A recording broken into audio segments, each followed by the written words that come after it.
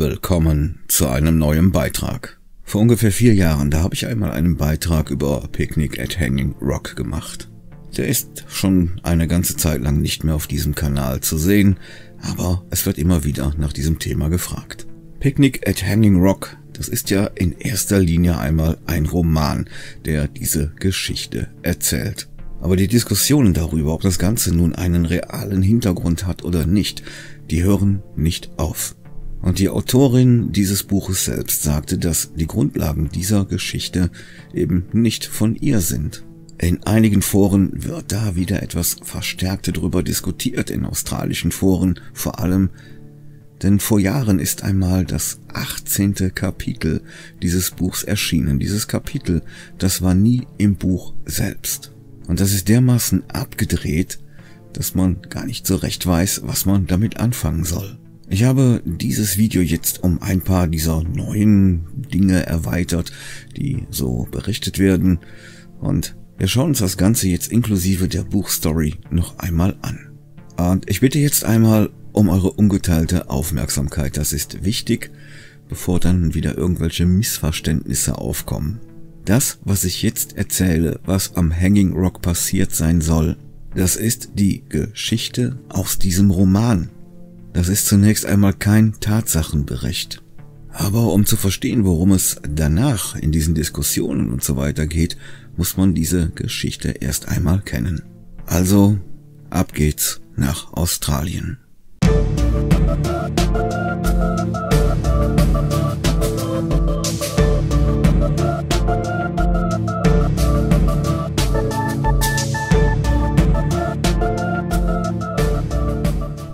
Jahr 2017, da hat der Daily Telegraph einen Bericht darüber veröffentlicht, dass dieser Vorfall am Hanging Rock, um den es in diesem Roman geht, immer noch ungelöst sei. Was genau ist laut diesem Roman damals dort passiert? Australien, der 14. Februar 1900. Es ist Valentinstag. Um diese Jahreszeit ist in Australien Sommer und dieser 14.2.1900 das soll ein sehr schöner Sommertag gewesen sein. Es ist traditionell so, dass der Valentinstag in Australien ein Familientag ist, dass Familien dort Ausflüge machen. Aber eben nicht nur die, es gab zur damaligen Zeit 1900 sehr viele Internate und Privatschulen. Zu diesen Privatschulen und Internaten, da gehörte auch die Appleyard Mädchenschule und die hatte für diesen Tag einen besonderen Ausflug geplant.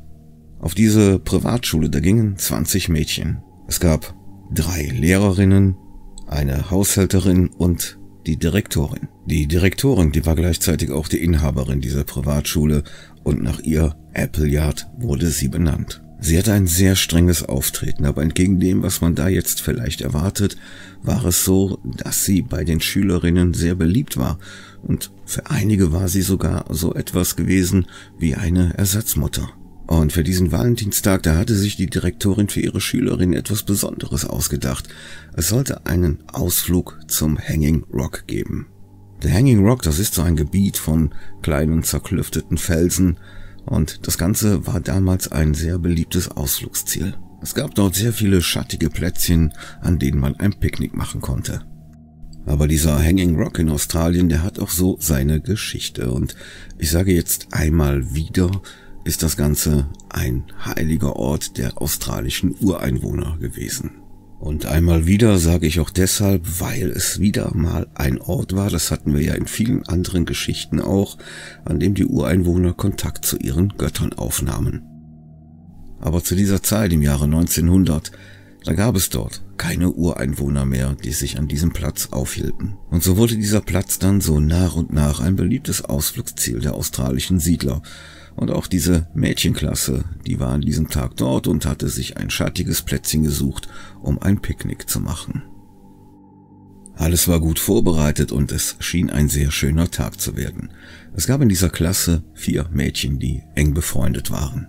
Ihre Namen waren Marion, Irma, Edith und Miranda. Die vier Mädchen, die hatten die Idee, Hanging Rock alleine zu erkunden und so holten sie sich dann von ihrer Lehrerin Miss McCraw die Erlaubnis. Nachdem sie von ihrer Lehrerin eine Reihe von Ermahnungen bekommen hatten, was sie alles nicht dürften, da bekamen sie dann grünes Licht und die vier Mädchen machten sich auf den Weg, diese Felsen zu erkunden. Später im weiteren Verlauf der Geschichte ließ sich nicht klären, wo genau diese Mädchen am Hanging Rock unterwegs waren. Nach etwa zwei Stunden kehrte dann nur eines der Mädchen völlig verwirrt und erschöpft zurück. Es war Edith und die schien so etwas wie eine Amnesie erlitten zu haben. Sie wusste weder, dass sie mit ihren drei Freundinnen die anderen Mädchen verlassen hatte, noch wo sie die letzten zwei Stunden war. Ebenso wusste sie auch nicht, wie sie den Weg zurück zu ihren Klassenkameradinnen gefunden hatte. Beunruhigt machte sich die Lehrerin Miss McCall dann auf den Weg, die anderen drei Schülerinnen zu suchen.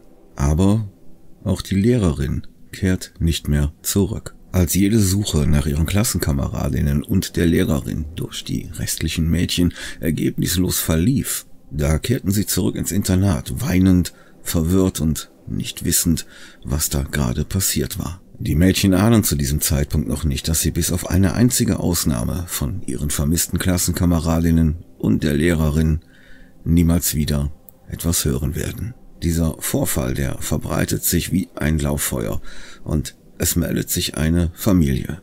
Und die Familie sagt, dass sie nach der angegebenen Zeit, in der die Mädchen nach ihren verschwundenen Klassenkameradinnen und der Lehrerin gesucht hätten, die drei vermissten Mädchen noch gesehen hätte.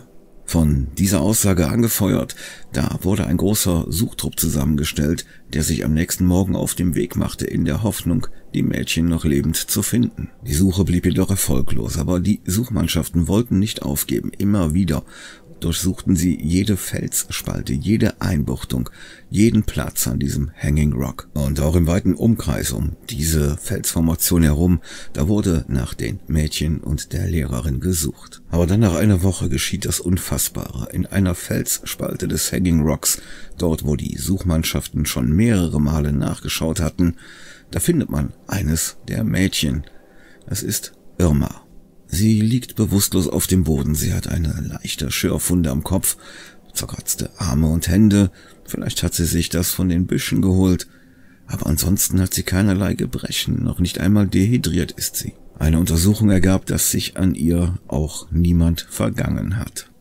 Aber es war eben auch so, dass Irma sich überhaupt nicht daran erinnern konnte, wo sie gewesen war. Ihr fehlte absolut jede Erinnerung. Dass die Suchmannschaften Irma gefunden hatten, das gab ihnen neue Hoffnung, und sie begannen erneut damit, das komplette Gebiet Meter für Meter abzusuchen. Aber die anderen Mädchen und die Lehrerin, die blieben für immer verschwunden. Aber damit ist dieses Drama eben noch nicht zu Ende, denn kurze Zeit später, da nimmt sich eine Schülerin dieser Schule das Leben. Ihr Name ist Sarah und sie ist so verzweifelt über das Verschwinden und den vermeintlichen Tod ihrer Freundinnen, dass sie nicht weiterleben will. Aber auch Direktorin und Eigentümerin dieser Schule, die wird das Ganze nicht überleben. Kurze Zeit nach dem Selbstmord von Sarah, da wurde sie plötzlich ebenfalls vermisst. Zunächst wurde das ganze Gebiet um diese Schule herum abgesucht, aber das blieb ergebnislos. Gleichzeitig wollten die Suchmannschaften aber auch nicht die Suche nach den vermissten Mädchen aufgeben. Und als sie dann wieder einmal am Hanging Rock unterwegs waren, um nach diesen Mädchen zu suchen, da fanden sie die Leiche der Rektorin am Fuße des Hanging Rocks. Die Todesursache konnte nicht festgestellt werden, aber es wird vermutet, dass sie dieses Verschwinden der Mädchen nicht so einfach hinnehmen konnte und sich deshalb selber auf die Suche machte und dabei dann eben vom Hanging Rock abgestürzt ist. Wirklich mit hundertprozentiger Sicherheit sagen konnte man das dann aber nicht. Die beiden vermissten Mädchen und die Lehrerin, die sind auch später niemals mehr aufgetaucht und die beiden Mädchen, die das Ganze sozusagen überlebt haben, die haben niemals wieder die Erinnerung daran zurückgewonnen, was dort überhaupt passiert ist damals am Hanging Rock. Bis hierhin also der Roman und ich möchte noch einmal in Erinnerung rufen, dass das, was ich jetzt erzählt habe, aus einem Roman stammt und kein Tatsachenbericht ist. So sagt man es jedenfalls, aber dieser Meinung sind eben nicht alle. Das, was mir aufgefallen ist bei diesem Roman, jetzt im Nachhinein, nachdem wir uns dann schon längere Zeit mit diesen Missing 411 Fällen befasst haben, ist, dass in diesem Roman aus dem Jahre 1967 ein klassischer Missing 411-Fall beschrieben wird. Ich war zur Recherche dieser Sache in einigen Foren unterwegs und auch in einem australischen Forum und da habe ich dann mal so gefragt, ob es weitere Informationen gibt bezüglich dieser Sache, dieses Romans und was da so erzählt wird in Australien. Zunächst einmal kann man sagen, dass ganz, ganz viele Menschen in Australien glauben, dass das wirklich passiert ist, was in diesem Roman steht. Ja, man hat mir dann in diesem Forum mitgeteilt, dass in Australien so diese Geschichte die Runde macht, dass nach diesem Mädchen noch zwei Jahre lang gesucht worden wäre und das Ganze eben ohne Ergebnis und man hätte es dann aufgegeben. Und dann wäre diese Sache so langsam versickert und erst nach ungefähr etwas mehr als 40 Jahren wäre das Ganze wieder hervorgekramt worden und zwar aufgrund eines Zeitungsartikels. In diesem Artikel soll beschrieben worden sein, dass schon viel früher, also früher als 1940, Autoren und Forscher damit begonnen hätten, bei den zuständigen Behörden Einblick in die Unterlagen zu diesem Fall zu verlangen. Und angeblich hätten sie diesen Einblick auch bekommen. Es hätte dann aber keinerlei neue Erkenntnisse gegeben und die ganze Geschichte wäre ebenso geblieben, wie man sie kennt. Und jetzt müssen wir einen kleinen Sprung machen. Und zwar in das Jahr 1967. Da veröffentlichte eine Autorin namens Joan Lindsay einen Roman. Dieser Roman hieß im Original Picnic at Hanging Rock, bei uns in Deutschland bekannt unter Picknick am Valentinstag. Als die Autorin den Roman schrieb, da war sie bereits 71 Jahre alt. Und die Autorin Joan Lindsay, die hat gesagt, dass sie im Jahre 1911 mit ihren Eltern am Hanging Rock war. Sie ist also auch Australierin. Und dort hätten ihre Eltern ihr diese Geschichte erzählt, die wir gerade gehört haben. Und davon war sie tief beeindruckt. Sie gab an, dass sie diese Geschichte dieser Mädchen ihr ganzes Leben mit sich herumgetragen hätte, bis sie dann irgendwann einmal den Entschluss gefasst hätte zu recherchieren, weil sie der Meinung war, dass man einen Roman schreiben müsste, der diese Geschichte zum Inhalt hat. Und das hätte sie dann auch gemacht. Sie hätte lange recherchiert, bis dann dieser Roman erschienen ist. Und der erschien mit 17 Kapiteln. Aber dieser Roman hatte ursprünglich 18 Kapitel und das, was ich jetzt erzähle, das ist keine ausgedachte Geschichte, das ist ein Fakt, das könnt ihr überall nachlesen, in Foren, wo es um Literatur geht oder bei Wikipedia oder sonst wo. Das 18. Kapitel dieses Romans, das sollte erst veröffentlicht werden, wenn sie tot sei, und zwar drei Jahre nach ihrem Tod. Aber warum? Angeblich, so kann man lesen, war das Ganze eine Idee des Verlags. Denn Joan Lindsay, die hat im 18. Kapitel erklärt, wohin die Mädchen verschwunden sind, zumindest ansatzweise. Aber der Verlag war der Meinung, man sollte das nicht veröffentlichen. Man sollte diesen Roman einfach so lassen, wie er ist, als Rätsel. Ansonsten würde man dieses Buch nicht veröffentlichen. Aber die Autorin, die wollte, dass dieses Buch erscheint und hat dann eben veranlasst, dass drei Jahre nach ihrem Tod das letzte Kapitel veröffentlicht wird. John Lindsay, die willigte dann etwas unwillig ein, aber sie knüpfte daran eine Bedingung und die Bedingung war die, dass vor Beginn des Romans etwas von ihr abgedruckt würde. Ein Zitat von ihr und das lautete so. Ob diese Geschichte wahr ist oder nicht, liebe Leser, das müssen Sie selbst entscheiden. Aber angesichts der Tatsache, dass diese Ereignisse im Jahre 1900 stattfanden und alle Personen, die darin verwickelt waren, heute nicht mehr leben, ist das Ganze nicht mehr wichtig. Was immer Joan Lindsay damit auch sagen wollte, auf diesen Satz, da hat sie bestanden. Später kam dann noch heraus, dass John Lindsay aufgrund der Tatsache, dass das 18. Kapitel in diesem Buch nicht erscheinen sollte, einige Teile ihres Romanes umschreiben musste. So dass dieser Roman, den wir heute kennen, eben nicht exakt der Roman ist, den sie ursprünglich schrieb. Das Ganze ist also sehr verworren und es gab damals schon harsche Kritik an ihrem Roman, beziehungsweise an der Art und Weise, wie er sozusagen verkauft wurde. Diese Kritiker, die sagten, dass es diesen Vorfall am Hanging Rock nie gegeben hätte und dass diese Geschichte von Joan Lindsay, dass sie mit ihren Eltern dort war und sie ihr diese Geschichte schon 1911 erzählt hätten, eben nicht stimmen könnte. Und diese ganze Erzählung, dass ihre Eltern das getan hätten, also ihr diese Geschichte erzählt hätten, sowie ihr merkwürdiges Vorwort, das sollte einfach nur Fragen aufwerfen und dem Leser die Möglichkeit geben, zu denken, dass das Ganze eine wahre Geschichte wäre. Später wurde dann gesagt, dass diese ganze Story eine Urban Legend wäre, die eigentlich erst nach diesem Roman und wegen diesem Roman entstanden sei. Ganz viele Menschen in Australien, die gingen und gehen auch heute noch davon aus, dass das Ganze eine wahre Geschichte ist. Irgendwann haben dann Buchautoren und Journalisten damit angefangen, in dieser Sache zu recherchieren und dazu haben sie sich dann eben auch an die Behörden und die Polizei gewandt.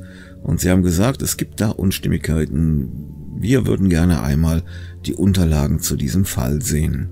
Aber weder die Polizei noch irgendwelche anderen Behörden waren im Besitz irgendwelcher Unterlagen, die diesen Fall am Hanging Rock bestätigen würden. Es war sogar so, dass es überhaupt gar nichts darüber gab. Und weitere Recherche, die brachte halt hervor, dass diese Mädchenschule Appleyard überhaupt nie existiert hat. John Lindsay, die war selbst auf so einer Mädchenschule und man ging davon aus, dass sie diese Mädchenschule zur Vorlage für ihren Roman genommen hat. Aber auch an deren Schule gab es nie irgend so einen Vorfall dieser Art. Es wurden dann noch weitere Unstimmigkeiten in ihrem Roman sozusagen aufgedeckt, und zwar der Valentinstag 1910, den hat sie an einem Samstag spielen lassen. In Wirklichkeit war das Ganze aber ein Mittwoch. Und ein paar weitere Daten hat sie da auch durcheinander gebracht. Und so kam dann nach und nach heraus, dass diese Geschichte, die eigentlich jeder in Australien kennt und die lange Zeit für ein wahres Ereignis gehalten wurde, eigentlich eine Urban Legend zu sein scheint. Eine Geschichte, die sich eine Buchautorin ausgedacht hat, eine Romanautorin, was ja auch ihr absolut gutes Recht ist. Dafür schreibt sie ja eben Romane. Aber es gibt eben bis heute Stimmen, die sagen, das Ganze ist keine Urban Legend, das ist ein wahres Ereignis. Die Unterlagen, die sind nur nicht mehr einsehbar, die sind verschwunden. Dieser ganze Wirrwarr, der könnte unter Umständen so zustande gekommen sein, dass man damals überhaupt nicht wusste, wie man diesen Roman einordnen sollte. Denn eigentlich beschreibt der in erster Linie nur den Alltag dieser Mädchen in dieser Mädchenschule. Und mit einem Mal kippt das Ganze dann und entwickelt sich dann zur Mystery Story. Schon der Verlag wusste damals nicht, in welcher Kategorie sie dieses Buch veröffentlichen sollten. Ja, und dann, drei Jahre nach dem Tod von John Lindsay wurde dann das 18. Kapitel dieses Romans veröffentlicht und das ist voll schräg. In diesem 18. Kapitel da wird etwas sehr Merkwürdiges beschrieben. Diese Lehrerin McCordy taucht da eigentlich gar nicht mehr auf, jedenfalls nicht als Lehrerin. Die wird da plötzlich als Clownsfigur beschrieben, als Clown. Und diese Mädchen gehen zusammen mit dieser Clownfigur immer weiter in diesen Berg hinein. Dann sagt die Lehrerin ihnen, sie sollten sich ihrer Korsetts entledigen, was die Mädchen dann noch tun und dann werfen sie diese Korsetts in die Luft und die schweben dann über ihnen. Und dann bildet sich vor ihnen so eine Art Loch in der Luft, so eine Kugel, also im Prinzip so etwas, wie man sich so einen Dimensionsübergang vorstellt, so ein Dimensionstor. Joan Lindsay schrieb, dieses Objekt sei so stabil wie eine Kugel, aber so transparent wie eine Luftblase gewesen. Sozusagen eine Kugel, in die man aber hineingehen konnte. Die Lehrerin, die also da zu diesem Zeitpunkt ein Clown war, die schlägt den Mädchen dann vor, sich in kleine Wesen zu verwandeln und in diese Bruchstelle der Dimensionen sozusagen hineinzugehen. Das wird dann auch gemacht. Die Mädchen und die Lehrerin verwandeln sich in kleine Wesen, was immer das auch sein soll, und gehen in dieses Dimensionstor. Und als das Mädchen Irma an der Reihe ist, da stürzt dort ein Felsbrocken hinunter und versperrt ihr den Weg in dieses Dimensionstor. Und diese Irma, die hätte dann wie von Sinnen gegen diesen Felsen geschlagen, wobei sie sich dann diese Verletzungen an Armen und Händen zugezogen hätte, und dann sei sie in Ohnmacht gefallen, und eine Woche später wäre sie dann in dieser Felsspalte aufgewacht, wo die Suchmannschaften sie dann fanden. So, und jetzt mal ganz ehrlich, diese Frau, die war 71 Jahre alt, als sie dieses Buch schrieb und dieses Kapitel natürlich dann auch. Und da ist so die Frage, was sollte das jetzt sein, dieses 18. Kapitel? War die irgendwie alterssenil? Hat die Drogen genommen? Weil dieses letzte Kapitel hat überhaupt nichts mit dieser vorangegangenen Geschichte zu tun. Das ist wirklich vollkommen abgedreht, was sie da zum Schluss in diesem 18. Kapitel schreibt. Natürlich ist das dann auch wieder so eine Art Futter für diejenigen, die sagen, die gute Frau wollte uns damit irgendetwas mitteilen. Etwas, das sie im Buch nicht veröffentlichen durfte, etwas, das sie dort nicht erzählen konnte und etwas, auf das sie keine Fragen beantworten möchte. Deshalb sollte das Ganze erst nach ihrem Tod veröffentlicht werden. Es wird gesagt, dass sie bei ihren Recherchen am Hanging Rock irgendetwas entdeckt haben könnte, das sie aber nicht der Öffentlichkeit so einfach mitteilen konnte, und deshalb hätte sie das mit diesem letzten Kapitel eben verschlüsselt gemacht. Aber man muss bei dieser Sache eines ganz klar sagen. Als dieser Roman erschien und als diese Gerüchte aufkamen, dass es eine wahre Geschichte ist, da wurden dann Leute skeptisch und die haben dann angefangen, das Ganze zu überprüfen. Und die haben nichts gefunden. Nichts, was darauf hinweist, dass es dieses Ereignis jemals wirklich gegeben hat. Weder hat man auch nur einen Schnipsel in irgendeiner Zeitschrift von damals gefunden, in irgendeiner Tageszeitung, dass diese Sache passiert ist, noch gibt es irgendeinen Nachweis darüber, dass diese Mädchen überhaupt jemals existiert haben, die in diesem Roman beschrieben werden. Auch die Rektorin nicht, die Schule, die gab's auch nie und einige andere Dinge sind halt eben falsch dargestellt worden oder existieren ebenfalls nicht.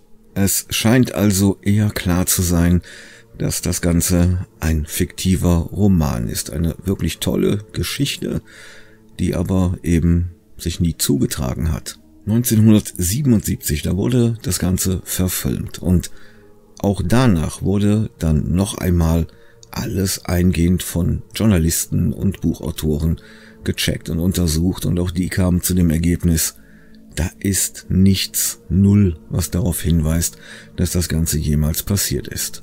Dann gab es den Umstand, dass die Australian Film Commission diesen Film eingezogen hat. Das ist eine staatliche Behörde und die hat gesagt, wir erteilen ab jetzt keine Erlaubnis mehr, dass dieser Film in TV-Sendern oder auf Streaming-Diensten ausgestrahlt wird. Amazon hat das Ganze dann eben auch in einer Stellungnahme genauso kommentiert, dass es halt dieses Verbot seitens dieser Australian Film Commission gab. Das hat natürlich dann die Gerüchte wieder einmal befeuert, warum denn eine staatliche Organisation diesen Film sozusagen einzieht, so dass er nicht mehr gesendet werden darf, was das dann überhaupt bedeutet. Allerdings muss man dabei sagen, dass dieser Film auf DVD weiterhin verkauft werden durfte. Das Ganze hatte wohl dann eher einen finanziellen Hintergrund, als dass da irgendetwas Unheilschwangeres im Gange war. Mittlerweile wurde dieses Verbot dann aufgehoben, den gibt's jetzt auch wieder auf Amazon Prime und soviel ich weiß, lief der mittlerweile auch schon mal im TV. Also ich denke einmal, diese ganzen Dinge um diesen Roman herum, dass die Autorin sagt, ihre Eltern hätten ihr das 1911 am Hanging Rock erzählt, diese Geschichte, oder dieses merkwürdige Vorwort, dass man es glauben kann oder nicht, das wäre ja auch nicht mehr wichtig, weil eh keiner mehr lebt von denen, die damals dabei waren. Das alles hat so den Sinn gehabt, diesen Roman in den Bereich einer Wahrheit zu rücken. Aber es gibt eben, wie gesagt, nicht den kleinsten Hinweis darauf, dass das Ganze sich wirklich zugetragen hat. Ja, merkwürdig an diesem Buch ist mit Sicherheit dieses 18. Kapitel, das ist ja mal völlig abgedreht. Das, ich habe es ja bereits erwähnt, was mir aufgefallen ist, ist die Tatsache, dass das ganze ja exakt so einen Missing 411 Fall beschreibt. Aber all das ist natürlich auch kein Beleg für die Echtheit dieses Romans. Es gab ja schon früher diese merkwürdigen Fälle. Fälle, die auch David Polides in seinem Kanal Canon Project vorstellt, die in Australien stattfanden. Von diesen Stories hat sie sich dann vielleicht inspirieren lassen. Aber wer weiß es schon. Nachdem ich also recherchiert habe, ist für mich persönlich klar, dass das Ganze ein Roman ist, ohne dass da irgendeine wahre Begebenheit dahinter steckt. Aber das muss ja nicht jeder so sehen. Wenn ihr möchtet, dann schreibt doch mal in die Kommentare, was ihr davon haltet. Würdet ihr sagen, ja, da ist vielleicht sehr viel vertuscht worden, das klingt jedenfalls so und da ist bestimmt irgendetwas in dieser Art passiert oder sogar diese Story so, wie sie niedergeschrieben worden ist. Oder würdet ihr sagen, ja, ich denke auch eher, dass das ein Roman ist oder was habt ihr sonst noch für eine Meinung? Wenn ihr dieses Video als Information okay fandet, dann lasst mir mal einen Daumen nach oben da. Ihr wisst, dann freue ich mich und ansonsten hoffe ich, wir hören und sehen uns bei meinem nächsten Video wieder. Und bis dahin, alles Gute für euch ihr Hanging Schlingel.